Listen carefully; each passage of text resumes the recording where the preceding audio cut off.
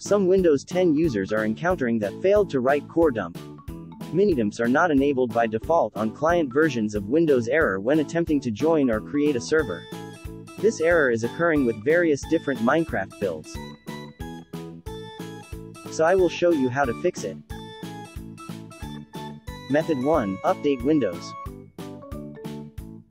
On your keyboard, press on the Windows key I to open Windows settings. Next, click on Update. Lastly, click on the Windows Update tab from the side menu and it will automatically check for any update available for your computer. If an update is available, follow the on-screen prompts to download and install the update on your computer. Once done, restart your computer and try to play Minecraft to see if the write core dump error message is already resolved. On the other hand, if you are still having issues with Minecraft, you can try doing the next method to fix the problem. Method 2. Update your graphics card driver. Press the WinR key to open the Run dialog box, and then type devmgmt.msc in the box and hit Enter to open Device Manager. Expand the Display Adapters category, and then right-click your graphics card driver and select Update Driver. Select the Search automatically for updated driver software option and follow the on-screen instruction to update the driver automatically.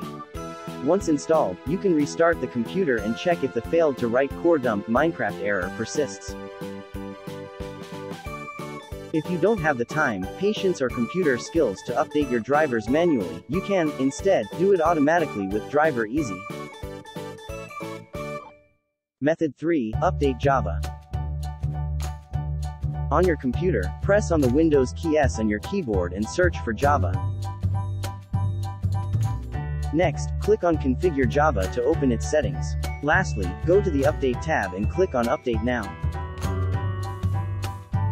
After updating Java on your computer, open Minecraft once again and play the game to see if the error message would still appear. Method 4. Enable VSync and triple buffering from NVIDIA Control Panel. Right-click on your desktop and select the NVIDIA Control Panel from the context menu. Also, you can find the control panel from the taskbar. Select Manage 3D Settings from the left pane and navigate to the Program Settings tab. Click on the Add, Browse buttons, and then navigate to the directory folder of your Java installation and select the java.exe file, and click on Open.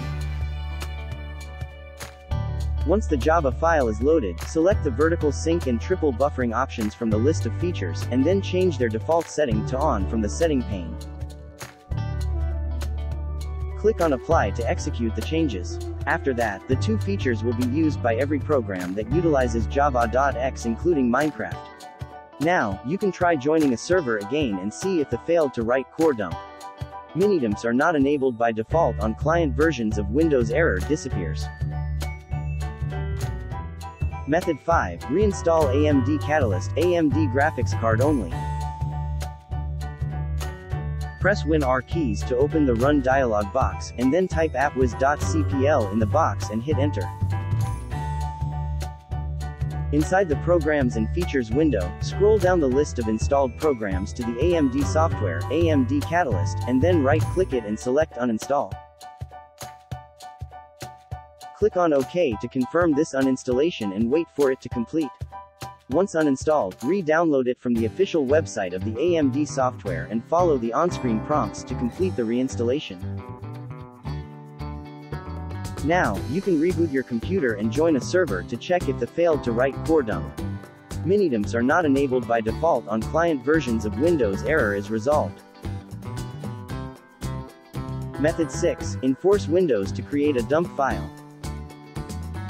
Open U Minecraft Launcher. Press Ctrl-Shift-S keys together to open Task Manager. Also, you can right-click the taskbar at the bottom of your computer screen and select Task Manager.